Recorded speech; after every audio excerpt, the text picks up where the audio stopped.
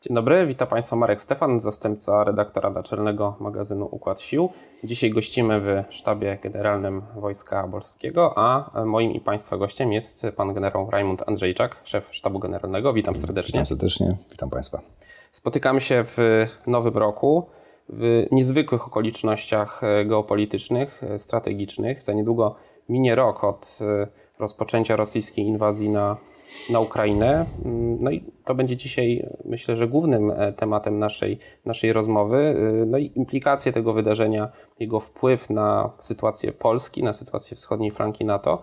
Mm, no ale już teraz wiadomo, że to, co dzieje się za naszą wschodnią granicą, będzie miało także wpływ na ogólnie sytuację geopolityczną e, na świecie. I pozwolę sobie zacząć naszą rozmowę od pana ostatniego osobistego doświadczenia mm, na Ukrainie. Miał Pan okazję być i rozmawiać z generałem Załużnym, dowodzącym sił e, Ukrainy, no i człowiekiem, na którego barkach spoczywa wielka odpowiedzialność. Jakie są Pana e, wrażenia z tej podróży? Tak, podróż niezwykła. Rzeczywiście 24 luty 22 roku na pewno w sposób taki symboliczny zapisze się w nowoczesnej historii nie tylko Polski i tutaj regionu, ale myślę, że to jest sprawa której implikacje będą e, globalne, choć wiele procesów i w funkcji czasu, i w funkcji przestrzeni zaczęły się znacznie, znacznie wcześniej i tylko ten 22 rok był takim, takim kompresorem, takim miejscem w czasie i przestrzeni, gdzie wszystkie sprawy związane właśnie z, z energią, tak, z bezpieczeństwem, e, w tym świecie post-covidowym e, niezwykle się skumulowały. Ja z tą wizytą zwlekałem troszeczkę, znamy się tutaj doskonale z panem generałem Załużnym, również z jego poprzednikiem, z generałem Hamczakiem, bardzo dobre relacje, ponieważ jako szef sztabu doskonale zdawałem sobie sprawy, e, no, jaka jest odpowiedzialność i, i najzwyczajniej w świecie nie chciałem tutaj jakoś przeszkadzać specjalnie, czy, czy też chciałem poczekać troszeczkę, żeby te sprawy,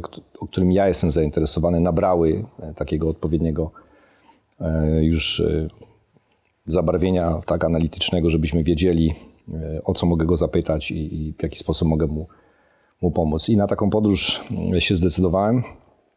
Rozmawialiśmy zarówno w takim formacie bardziej oficjalnym, czyli przedstawimy sytuację bezpieczeństwa, e, scenariusze, tak jak to widzą, tak jak to rozumieją, tak jak to przewidują, ale również mieliśmy taką okazję, jak żołnierz z żołnierzem, tak porozmawiać o jego osobistych impresjach i to są, to są rozmowy absolutnie bezcenne.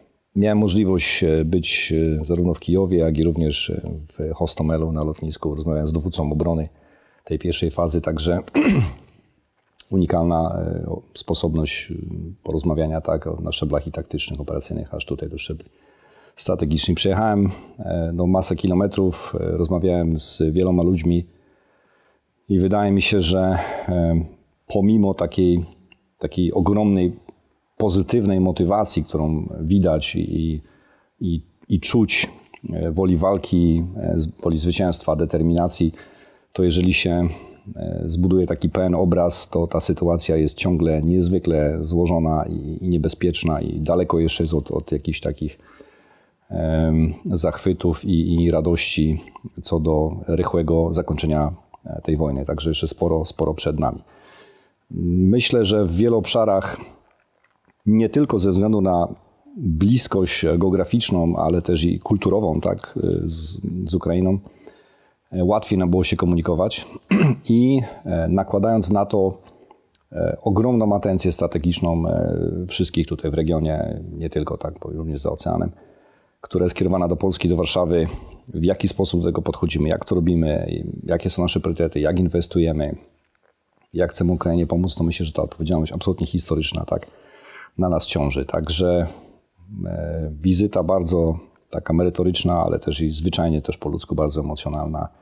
Trzymam kciuki. E, wspaniały żołnierz, wspaniały dowódca, wspaniały człowiek e, z ogromnym autorytetem, takim nieformalnym, z pomysłami, no ale odpowiedzialność, która jest na jego barkach, tak jak Pan wspomniał, jest, nie, jest niewyobrażalna. Mhm.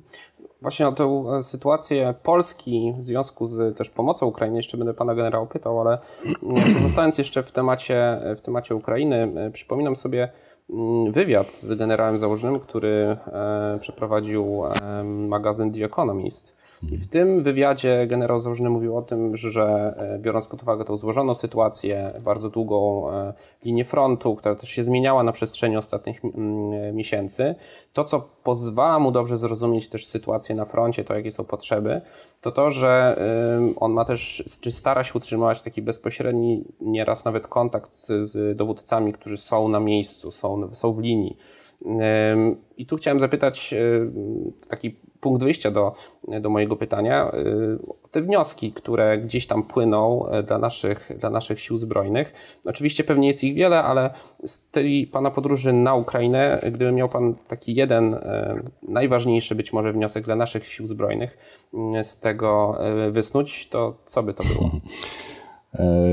No takich pytań dostałem mnóstwo po powrocie. Natomiast ja, ja, jednak bym troszeczkę jakby spowolnił to i zanim przejdziemy do takich wniosków, wniosków konkluzji, chociażby tutaj już tak, z takiego bardzo merytorycznego, wąskiego wojskiego, e, wojskowego punktu widzenia, czyli w sposób przywództwa, tak, to jednak e, no, trzeba się pokusić tutaj o, o, o takie szersze spojrzenie na Ukrainę, żeby te nasze wnioski nie były właśnie takie sektorowe, żeby nie były emocjonalne, żeby nie były wyjęte z kontekstu. Zanim e, panu odpowiem, to musimy wiedzieć, że ta wojna została przez Rosjan zupełnie inaczej zaprogramowana niż ta wojna, do której my tutaj, jako państwo, jako, jako flanka, tak, jako NATO, e, będziemy się przygotowywać. A to stanowi ogromną różnicę.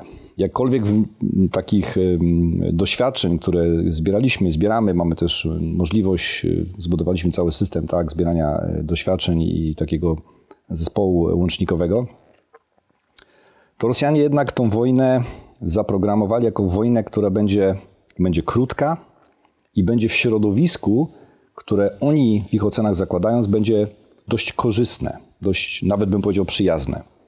Czyli e, dokładnie to, co, to, co e, zawiera tak, e, tak zwana doktryna Gerasimowa, czyli przygotowanie informacyjne, korupcja władzy, czyli zbudowanie elementów e, oddziaływania na, na, na podświadomość, tak, wojna informacyjna, to to wszystko w opinii Rosjan było przygotowane dość dobrze. Zaskoczyło mnie to, kiedy rozmawiałem z dowódcą, e, z dowódcą właśnie obrony e, Hostomela, który powiedział mi, że po absolutnie dramatycznym początku część żołnierzy w, w wyniku przebiegu walk dostała się do niewoli, potem z tej niewoli zostali zwolnieni i zresztą bardzo po, pozytywnie, w takim sensie, że bardzo wysoko oceniał tutaj tą pierwszą fazę i te jednostki powietrzno-desantowe rosyjskie, które tam próbowały lotnisko zająć. Także to, to w jego ocenie nie, nie, było, e, nie było przeprowadzone tak, jak widzimy dzisiaj, tak w wielu obszarach zupełnie nieudolnie, czy, czy wręcz,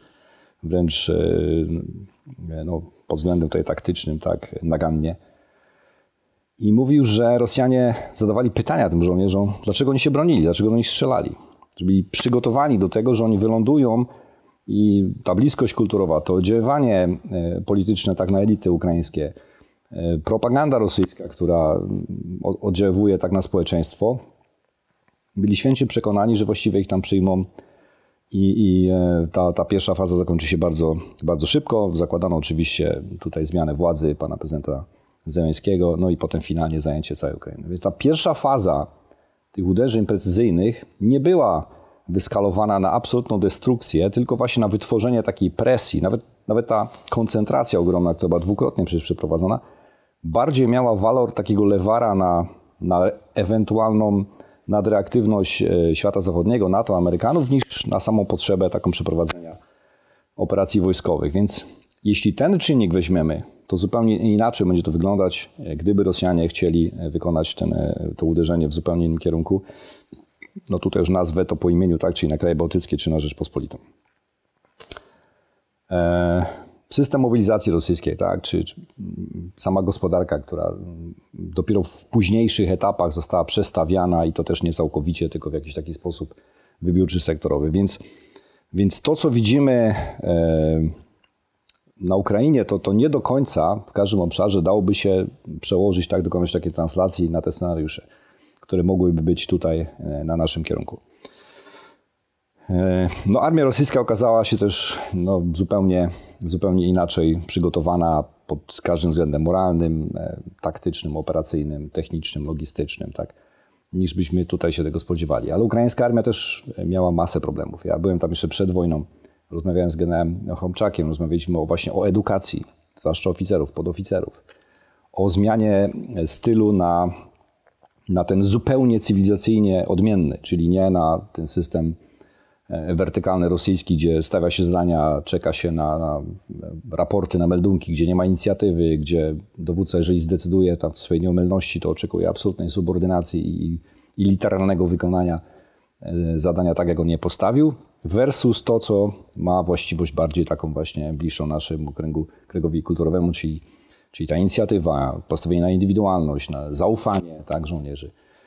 Więc ta transformacja e, no, nie została dokończona na Ukrainie. Oni jeszcze masę spraw e, tak chcieli zrobić, e, no ale sytuacja tutaj na to nie pozwoliła. I stąd też ta, ta właściwość tak, armii ukraińskiej, która nie jest armią natowską, to też musimy sobie jasno, jasno powiedzieć. Tak zupełnie w innym środowisku to się ta, ta wojna odbywa. No, zrobiła absolutnie fenomenalny krok do przodu, jeżeli chodzi o, o, o zmianę stylu przywództwa. I tutaj osoba generała założnego, personalnie, tak, jego styl dowodzenia, jego taki wewnętrzny spokój, e, zaufanie do, do podwładnych, czasami no, akceptowanie, że te zadania są wykonywane no, nieco inaczej niż on może by sobie to wyobrażał, tak? E, taka też bym powiedział troszkę słowiańska tak, skłonność, że jeżeli czegoś się tak nie da zrobić w taki sposób, to, to robimy to, to winny no jest absolutnie imponująca. Natomiast rozmawiałem z wieloma też i kolegami, szefami sztabów, e, czy, czy z moimi tutaj oficerami, generałami, żebyśmy w mądrze przekładali, tak, żebyśmy nie, nie patrząc e, na wojnę tutaj na Ukrainie, nie dokonywali tych reform w troszeczkę innym kontekście, innym środowisku. Także to jest to, to ta różnica, którą, na którą ja bym zwrócił uwagę. Natomiast jeśli chodzi właśnie o o sposób dowodzenia. Tu tutaj generał Załużny nawet zażartował, że mówi, że właściwie dzisiaj do wygrania wojny potrzebne są dwie rzeczy. HIMARSy i Starlink. Także to jest taki też jakby symbol, symbol e, zmiany czasów, czyli e, broń precyzyjna na, uderzająca na, na duże odległości, tak, i system komunikacji dzisiaj niezależny, trudny w zakłóceniu. E, taka system dowodzenia tak, e, nie, nie taki właśnie wertykalny, raczej, raczej horyzontalny. Zresztą wiele tych problemów, które, z którymi oni tam się spotykają, wiele tych rozwiązań, e, no, realizujemy w Wojsku Polskim Mission Command, tak zarówno na poziomie tutaj oficerów, ale również i podoficerów promujemy. Ja robię to już od wielu lat i uważam, że dzisiaj ten kierunek jest słuszny, a wojna na Ukrainie tylko mnie w tym potwierdziła. Także, ale tak jak mówię, jest to, jest to tylko i wyłącznie pewien, pewien wycinek. E, wojna na Ukrainie to jest sprawa e, jak to mówią klasycy, tak absolutnie czysto polityczna, a, a ta część wojskowa jest tylko jeden z elementów. I to nas y, trochę podprowadzi do drugiej części naszej rozmowy, bo wspomniał Pan o tym, że e, rosyjska inwazja na Ukrainę i ten e, etap wojny, który teraz obserwujemy, bo przecież e, pamiętamy, że wojna trwa tam od 2014 roku, ona pokazała, że z jednej strony jest to nowoczesne pole bitwy, Starlink, e, mhm. jest amunicja precyzyjna, e, system świadomości sytuacyjnej itd., tak itd. Tak Ale z drugiej strony mamy te elementy e, wojny, z, którą pamiętamy jeszcze z XX wieku, czyli przede wszystkim masowe zużywanie sprzętu, amunicji, co oczywiście nakłada olbrzymie obciążenie na przemysły zbrojeniowe państw zachodnich, no, które wspierają Ukrainę i bez których zaangażowania dzisiaj Ukraina nie byłaby w walce walce. Zatem y, no, to, to jest też taki, mm, można powiedzieć, wniosek i też y, sprawa, wokół której toczy się dzisiaj wiele debat. Czy y, państwa NATO, przede wszystkim państwa europejskiej części NATO, przestawił się de facto na produkcję wojenną, na to, żeby wspierać tak Ukrainę, żeby ona faktycznie mogła cały czas utrzymywać się w walce. To chyba jest jeden z takich tematów, który często gdzieś pojawia się w dyskusjach. Tak, tak to absolutnie bardzo często. Zresztą to jest nasza bieżąca działalność, bo przecież zajmujemy się i wysyłaniem sprzętu i amunicji, czy też uczestniczymy w transporcie środków bojowych, środków walki z innych państw na, na Ukrainę. Natomiast no zanim jakby tutaj te gorące głowy komentatorskie trochę uspokoił, powiedział, że y, siły zbrojne są pewną funkcją bezpieczeństwa. Tak, tak jak jest postrzegane zagrożenie danego kraju, tak są one skonstruowane, y, zorganizowane, wyposażone. Zmotywowane. I te ostatnie dekady jednak no, pokazywały zupełnie inne zagrożenia. Tak? Rosja nam kompletnie zniknęła z radaru w latach 90. Chiny na tym radarze się pojawiały tak tylko punktowo i właściwie to tylko te radary dalekiego zasięgu widziały, e, tak trochę żartując, ale e, zajmowaliśmy się głównie, a to jest też czas mojej służby, tak, zajmowaliśmy się głównie zarządzaniem kryzysowym, e, walką z terroryzmem, operacjami ekspedycyjnymi, tak, i ten wielki system krajowy, czy też natowski po prostu się tym zajmował, bo takie, takie były zadania. E, no potem troszeczkę, czy to, no trudno mi to już jakoś rozstrzygać, czy to krótkowzroczność, czy, czy jakaś naiwność polityczna, e, czy też może no, zwyczajna tak, suma mm, interesów spowodowała, że, że kwestie energetyczne, także tą Rosję żeśmy pomijali. No i zostaliśmy przyłapani tak troszeczkę w rozkroku w tym wszystkim. I tu też trzeba e, z takiego zwykłego ludzkiego punktu widzenia, jakkolwiek mamy swoje preferencje, tak? Po prostu czuć tą odpowiedzialność, którą i ten szacunek, który się Ukraińcom należy, ponieważ oni nam dają czas, tak? Oni ten czas kupują dla nas dzisiaj. Musimy, tak jak Pan powiedział, wiele lekcji odrabiać i, i pewien taki w pewnej takiej przenośni możemy powiedzieć, że, że walczą tak za nas. Używa się to czasami w takich emocjonalnych przekładach, ale tak naprawdę gdybyśmy zrobili rachunek, to chyba tak jest, tak?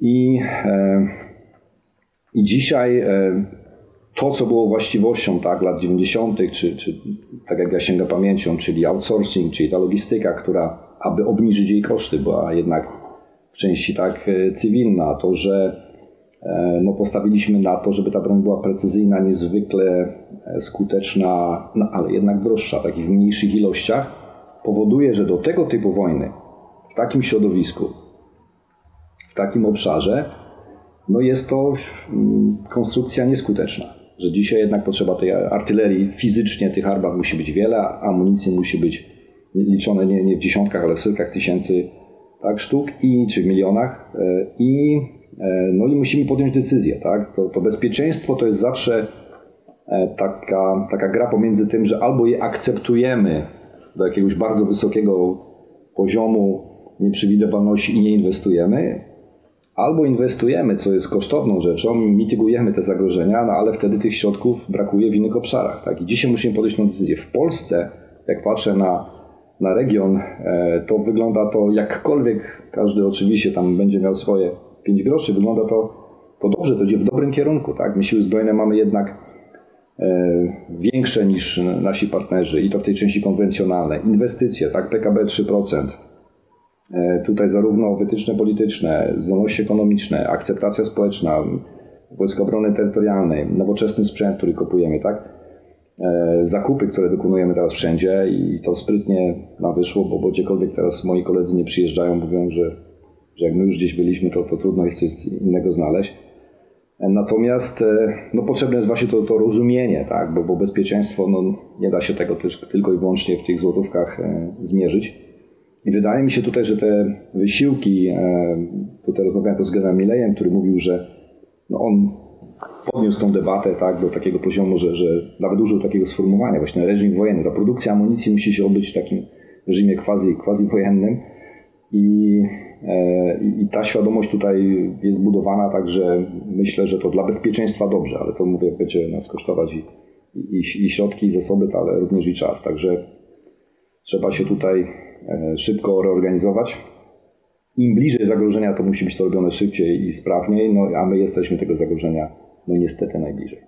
Jak pan ocenia wpływ e, rosyjskiej inwazji na sytuację Polski i całej wschodniej flanki? Bo trudno ukryć fakt, że no, rola Polski jako, można powiedzieć, też no, de facto zaplecza mm, logistycznego dla Ukrainy jest, jest ogromna, ale również e, często podkreśla się to, że rola Polski na samej wschodniej flance wzrosła w, w związku z, też z tym, co dzieje się za naszą e, wschodnią e, granicą to też Ukraina, ale to też Białoruś. E, Białoruś, która też jest e, no, właśnie kluczowym tutaj państwem, zarówno też dla, dla rosyjskiej e, operacji na Ukrainie.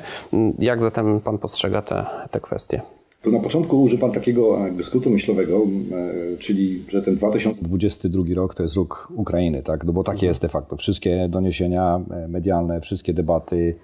Prezydent Zełenski jest osobą chyba najbardziej znaną dzisiaj na świecie, więc więc tu, tu się z tym zgodzę. Natomiast Gdybyśmy na chwilkę e, zatrzymali się, również tutaj używam takiego, takiego zobrazowania, że ten współczesny, niezwykle złożony świat, zwłaszcza z waszyngtońskiej perspektywy, a, taką impresję miałem po, po przeczytaniu właśnie strategii bezpieczeństwa narodowej amerykańskiej, jest takim systemem systemów. Tak? On, on ma takie swoje jakby fizyczne lokalizacje, które mają konkretne parametry funkcjonowania. I takim pierwszym systemem, ja je wymienię troszeczkę w innej kolejności, ale to w sposób zamierzony. Pierwszym takim systemem jest e, ten system dalekowschodni, czyli to jest najważniejsze zagrożenie, e, czy na razie na poziomie rywalizacji, tak, ale zobaczymy, jak to będzie wyglądać, czyli Chiny. I, I ten Tajwan w taki sposób e, obrazowy, czyli używając języka czy fizyki, czy tutaj Clausewitza jako ten środek ciężkości, ma wpływ na wszystko. Tak? Wytrącenie tego środka ciężkości spowoduje no, co najmniej wibrację e, systemu, a, a de facto może spowodować jego dysfunkcję. I to, co tam się dzieje, tak? czyli, czyli kwestie e, Chiny, domyślnie Korea Północna, tak? to, to jest amerykańska perspektywa, czyli kwestia japońska, czy południowej Korei, czy dalej tam Filipiny, tak i Australia. To, to wszystko, co powoduje to połączenie mm, ciągu logistycznego, handlowego, zależy od tego, czy jest polityczna kontrola nad Tajwanem, strategiczna, wojskowa, ekonomiczna, technologiczna, jakakolwiek inna. I ten system nie jest do końca przez nas tutaj na tym naszym radarze, skoro używamy takiego z, jakby porównania, nie jest do końca widziany, dlatego że to nie są kwestie natowskie. Polska jest tutaj krajem regionu, tak, ma aspiracje regionalne, a nie globalne. I, i myślę, że, że to nie do końca widać. I to, co Amerykanie robią, ich lokalizacja zasobów, tak, środków, często, gęsto zawiera właśnie ten, ten priorytet, który jest dla nas no, ciężko do, do zaakceptowania, zrozumienia, czasami w tych kalkulacjach widzimy to inaczej. Drugim takim systemem jest oczywiście Iran i wszystko związane z, z sytuacją tutaj na, na Bliskim Wschodzie i Izrael pełni funkcję takiego właśnie środka ciężkości, na którym wisi ten stworzeń bezpieczeństwa. Tak? Wszystko wokoło, łącznie tutaj z, z sojusznikami, e, ale tymi łatwiejszymi, tak, czy bardziej przyjaznymi i tymi pełnymi wyzwań, tak jak Arabia Saudyjska chociażby. Tak ostatnio wiemy. Zresztą podczytuję tutaj z wielką uwagą, przyjemnością e, układ sił i też e, dotyczące, sprawy dotyczące Iranu są tam bardzo często wspominane. I trzecim tym systemem jest oczywiście zagrożenie rosyjskie, wymieniane zresztą w strategii bezpieczeństwa narodowego amerykańskiego i, i tym stworzeniem właśnie zaczyna być Rzeczpospolita. Czyli jakby historycznie ta architektura bezpieczeństwa była zlokalizowana w tym stworzeniu niemieckim. Mówię tutaj o czasach zimnej wojny, tak, i potem dopiero ta rozbudowa, powiększanie nowych członków, zmiana całkowicie tej geometrii strategicznej, ale bardziej ona miała charakter ekonomiczny, a, a mniej może w obszarze bezpieczeństwa. I dzisiaj można byłoby powiedzieć, że, że ta, gdybyśmy chcieli narysować jakby geometrycznie ten obszar, to, to będzie to Warszawa i Kijów. Mimo, że, że tutaj Ukraina nie jest w NATO, tak? ale, ale wszystko, co się dzieje, to jest ta interakcja pomiędzy właśnie tym krajem natowskim, unijnym, który jest e, potężnym potencjałem tutaj w regionie. Nic się bez nas nie odbywa. Czy to kwestie tutaj na północy, czyli e, tutaj enklawa królewiecka, tak, i wszystko, co jest z tym związane w natowskich planach, czy przesmyk suwalski i nasza tutaj zabezpieczenie projekcji siły do krajów bałtyckich. Czy kwestia. Ostatnio e, tej, tej nazwijmy to tak, weaponizacji nielegalnej migracji i e, kryzys na granicy polsko-białoruskiej, w pierwszej fazie tak negatywnie oceniany przez wiele środowisk e, tam unijnych, europejskich, ale również w kraju. Teraz się okazuje, że to, to była, że tak powiem, dobrze przeprowadzona tak operacja i, i, potrzebna i skuteczna. I finalnie Ukraina. I e, każdy, każdy dolar, każdy litr paliwa, każdy e, czołg haubica, każda sztuka amunicji, która jest dostarczana na Ukrainę, no, nie może być fizycznie dostarczana w żaden sposób. Każda delegacja, która tam jedzie, tak, no nie może wylądować gdzie indziej, jak, jak właśnie tutaj. Więc, więc e, ta odpowiedzialność, która na nas spoczywa, coraz większa, to te pytania, które są tutaj kierowane, uwaga, wzorowanie się czasami, tak, czy pytanie o, o pomoc, o sugestie, no jasno wskazuje na to, że w tych trzech środkach, e, żeby być dobrze zrozumianym, ja nie mam tu takiej intencji pokazywać tego jak w skali globalnej, tak, ale, ale pomyślałem sobie ostatnio, że Jeśli kupujemy tak, sprzęt w Korei, e, bo, bo to jest jedyny dzisiaj dostępny środek dobrej jakości, byłem osobiście też w Korei, miałem okazję e, zobaczyć to z bliska, e, no to jest to po drugiej stronie globu. I to jest dokładnie właśnie na, na, na tym śladzie, to gdzieś tam przez tą Malakkę musi, musi przepłynąć przez Ocean Indyjski tutaj i, i, i dalej. Tak? Więc to musi być obszarem naszych analiz, naszych kalkulacji. Yy, no, Aramco jest właśnie od tego trudnego sojusznika, tak? Więc to też dzisiaj na tym największym poziomie strategicznym coś, co kiedyś nie było taką właściwością e, naszą, żeby się tym zajmować, no stanowi, tak, weszliśmy do pierwszej ligi, no i musimy w tej pierwszej lidze się tu zachowywać tak jak pierwsza liga. Więc to nakłada cały zestaw, cały zestaw zobowiązań ogromnych, ale też to, co najważniejsze chyba i taka powinna być konkluzja, cały zestaw szans i z tych szans trzeba tutaj dobrze dobrze skorzystać. Także ta Ukraina jest takim fokusem, jest akceleratorem wielu procesów, jest dzisiaj też no, ogromnym takim przykładem, ale to będzie jeszcze, wiadomo, no, masa, masa wyzwań z tym związanych. Powiem panu tak, że jak, jak często rozmawiam tutaj właśnie na, na różnych forach, a rozmawiam tu i w Europie, ale ostatnio też i poza, tak, czy w Stanach Zjednoczonych, czy, czy w Kanadzie, to zauważam taką właściwość, że tam jest to widzenie sektorowe, że jest chwila, tydzień rozmawiania o, o, tym, że była eksplozja Nord Stream 2, nie do końca jakby widząc, że to jest rura dokładnie, która biegnie blisko Polski i to my przez ostatnie lata mówiliśmy, że ona nie obsługuje interesów, że ona jest zagrożeniem, tak? E, potem mamy chwilę rozmowy na temat tak, królewca i tutaj rosyjskiej aktywności czy, czy militaryzacji tego obszaru. Potem jest rok opowieści tak, o przesmyku suwalskim. Potem jest E, kryzys tak polsko-białoruski to jest w związku z imigracją i potem na Ukrainie. A, a ja wtedy mówię, słuchajcie, to u nas z Warszawy na naszym radarze jest wszystko w jednym czasie, w jednym miejscu. To, to, jest, ta nasza, to jest to nasze widzenie. Od tam Rzeszowa aż tutaj po, po Szczecin, jak, jak ten radar szeroko otworzymy, to to się dla nas dzieje w jednym czasie. I myślę, że takie zwracanie uwagi właśnie wszystkim, że, że jeżeli, jeżeli nie będziemy skuteczni na Ukrainie, jako cywilizacja, jako, jako Unia Europejska, jako NATO, jako, jako Polska, tak? czy tutaj jako flanka wschodnia, to natychmiast tracimy w tym sensie strategicznym Białoruś. Ona będzie się jeszcze bardziej integrować. Ona będzie jeszcze bardziej uzależniona. Jeżeli e, będziemy skuteczni, tak, jeżeli pomożemy Ukraińcom tą wojnę wygrać na taki sposób i takich warunkach finalnych, które oni by sobie tutaj życzyli i akceptowali, to zupełnie inaczej ta geometria wygląda. I to są naczynia połączone, tak? I, i teraz y, cały okręg królewiecki, tak? Powoli w tej sytuacji, po wejściu potencjalnym, głęboko wierzę, tak, Szwecji i Finlandii, staje się ogromnym wyzwaniem rosyjskim. Oni muszą tą część utrzymać, tak? To zupełnie inaczej ta geometria dzisiaj będzie wyglądała, bo, bo flota Bałtyku ma, ma już zupełnie inną, inną e, swobodę tutaj e, działania.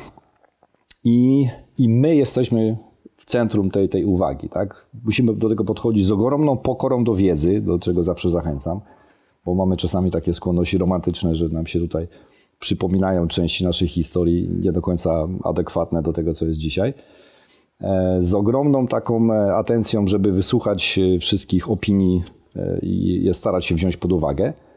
Ale na koniec, ja bym takiego użył sformułowania, bardzo trafnie to, to określił pan Marek Budzisz, używając takiego sformułowania ta samotność strategiczna. I jest to w pierwszym takim emocjonalnym jakby odbiorze oznaczałoby, że już się nic nie da zrobić, że jesteśmy sami, musimy sobie z tym poradzić. A to raczej chodzi o to, że, że my musimy te problemy najpierw rozwiązać tutaj, rozważyć je sobie na własnym podwórku, nie pytać za bardzo tam o zgodę, czy możemy to rozważać, E, nie pytać o jakieś e, wielkie tutaj instrukcje na zasadzie jakiejś zupełnie nieoczekiwanej subordynacji, tylko właśnie w tej takiej tak zwanej samotności, tej, tej naszej wewnętrznej, zdecydować, gdzie są nasze interesy, jakie są nasze ambicje i po prostu jako dojrzały tutaj e, kraj średni tego regionu implementować. Więc to, to jest ogromne wyzwanie moim zdaniem, ale to, to sformułowanie jest absolutnie tutaj trafne i, i wydaje mi się, że można byłoby tutaj poddać je głębszej analizie. Mhm. No, myślę, że to jest bardzo dobra e, puenta naszej e, dzisiejszej rozmowy.